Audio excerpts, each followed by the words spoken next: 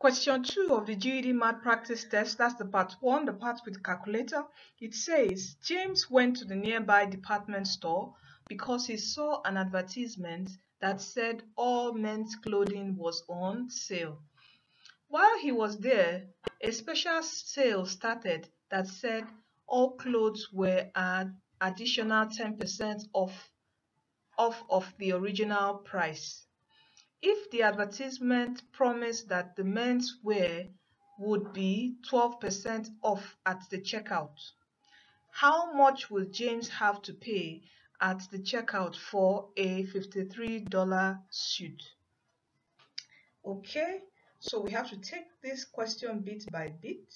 All right, so here it says, okay, he went because he saw an advertisement on TV that says um, clothing was on sale. All right. Okay, he just saw a, a random advertisement on a department, a nearby department store.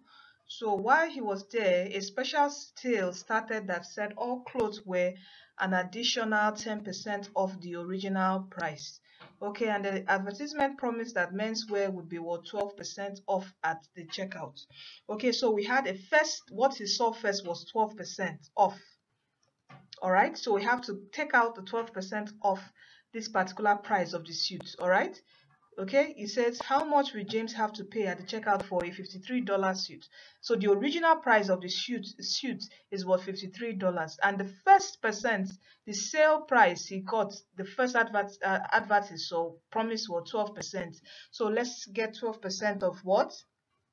$53 all right okay and that was 12% of $53 that's 12 divided by 100 times what? 53 and this will give us what? This will give us um six dollars 36 what? Cents. Okay?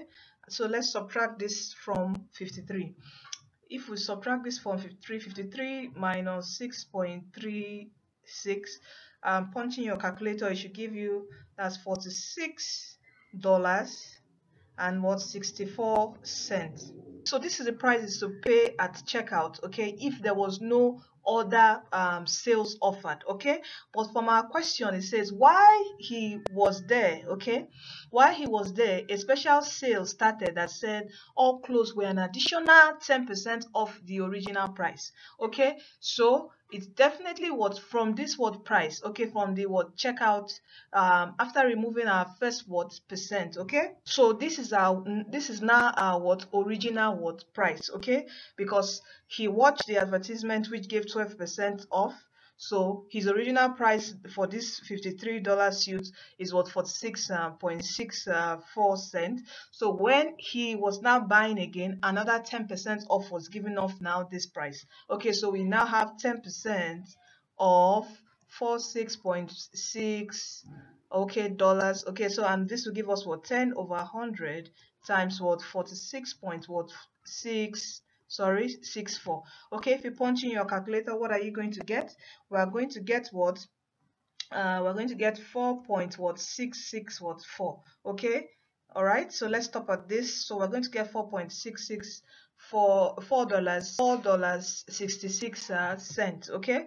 Okay i think um let's leave out this four. So we just have four dollars 66 what cents?